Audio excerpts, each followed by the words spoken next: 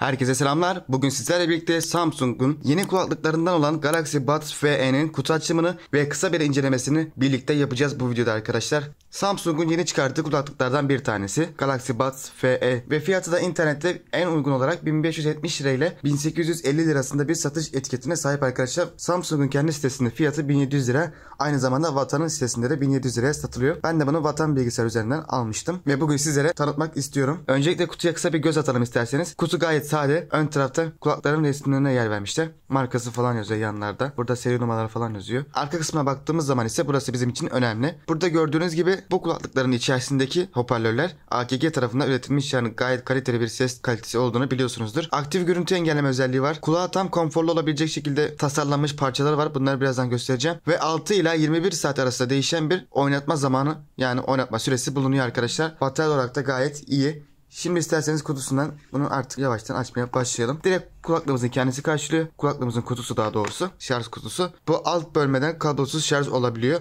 Aynı zamanda Type-C girişinden de şarj edebiliyorsunuz kulaklığı. Buna şimdi birazdan daha detaylı bakacağız. Kutuya devam edelim. Kutunun iç tarafında bir kağıt bulunuyor.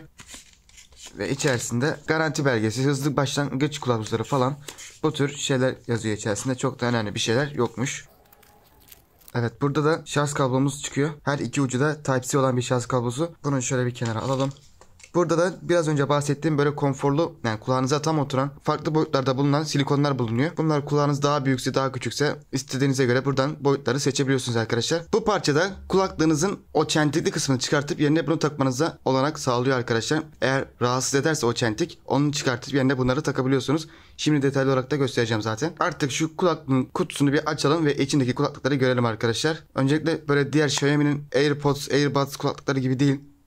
Gayet kaliteli bir kapağının olduğunu söyleyeyim.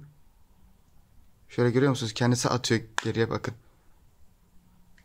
E tabi o kadar para vermişsiniz. Bir zahmet bunlar olsun tabii ki de. Evet kutunun iç dizaynı da bu şekilde. Şarj olduğu zaman şöyle yeşil bir ışığı yanıyor. Kulaklığı çıkarttığınız zaman da bu ışık sönüyor arkadaşlar. Aynen bu şekilde. Şimdi bu kutuyu bir kenara alalım ve kulaklıklara bakalım arkadaşlar. Kulaklıkların tasarımları bu şekilde görmüş olduğunuz gibi. Dediğim gibi şu silikonları eğer büyük ya da küçük gelirse değiştirebiliyorsunuz.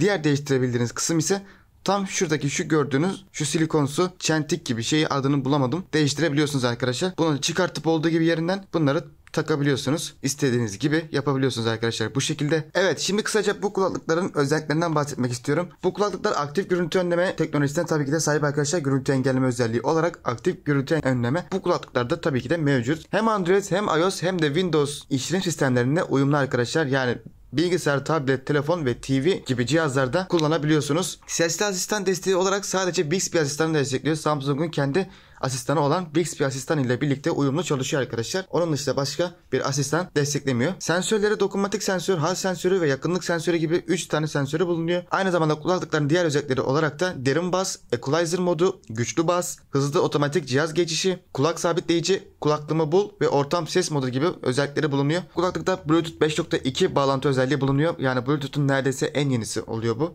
Şu anda en yenisi 5.3. Bunda ise kullanılan 5.2 modeli arkadaşlar. Yani gayet hızlı bir Bluetooth modeli var. 10 metrelik bir kullanım mesafesi bulunuyor. Yani 10 metreye kadar telefonla veya başka bir şeyle aranızda kulaklıklarınızda 10 metre mesafe bulunabilir. Kulaklıkların batarya kapasitesi 60 mAh arkadaşlar şu kulaklıkların. Şarj kutusunun miliamperi ise 479 mAh olarak belirtilmiş batarya kapasitesi olarak kulaklıkların ise 60 mAh arkadaşlar. Toza ve suya dayanıklılık sertifikaları bulunmuyor arkadaşlar maalesef ki. Bu konuda biraz eksi tarafı diyebiliriz. Suya ve toza dayanıklılık sertifikaları bulunmuyor. Yani suya ve toza dayanıklı değiller. Ona göre kullanın. Mikrofon tabii ki de bulunuyor. Altı mikrofonlu ve bu mikrofonlar arkadaşlar çağrı gürültü engelleme gibi özellikleri bulunuyor. Bilginiz olsun. Son olarak bir de ağırlıklarından bahsetmek istiyorum. Ağırlık olarak 11.2 gram arkadaşlar şu kulaklıkların her bir tanesi. Şarj kutusunun ağırlığı ise 40 gram olarak belirtiliyor. Evet teknik detaylar da bu şekildeydi. Şimdi isterseniz gelin kulaklığı bir telefona bağlayalım. Evet şimdi bir Samsung telefon aldım ki sizlere bağlandığı zaman özelliklerini daha detaylı bir şekilde gösterebilirim arkadaşlar. Burada Galaxy Wearable adlı bir uygulamayı gösteriyor. Galaxy Watch veya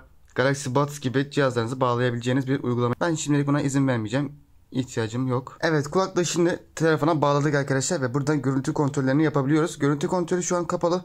Bunu isterseniz ortam sesini ayarlayabiliyorsunuz veya aktif görüntü önleme yapabiliyorsunuz. Buradan daha sonra ses ve aramalar gibi özellikleri sağlayabiliyorsunuz. Buradan üst taraftan pirinizin kapasitesini de görebiliyorsunuz. Sol sağ olmak üzere arkadaşlar. Galaxy Wearable uygulamasını açarak daha detaylı olarak birçok özelliği de ayarlayabiliyorsunuz arkadaşlar. Kısaca bu şekildeydi. Şimdi sizlere kısaca bir müzik testini de göstermek istiyorum. Yine de az çok ses kalitesini görmüş olursunuz. Sesi fullledim.